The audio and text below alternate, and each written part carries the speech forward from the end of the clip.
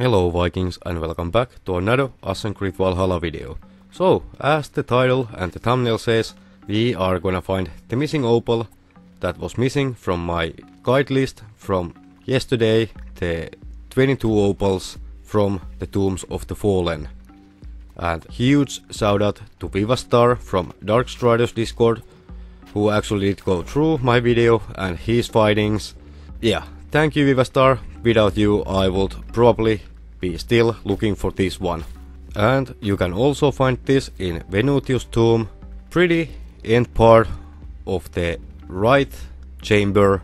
In here you will see the weird looking floor and the bars. And there is the opal sitting and what you need to do that I didn't realize at first you need to blow up the oil jar. Just shoot it.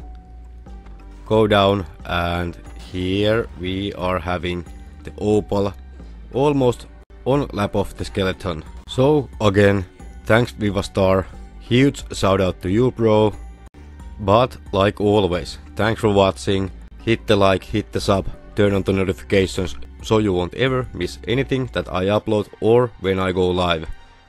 Also Vikings, have fun, stay safe, be strong.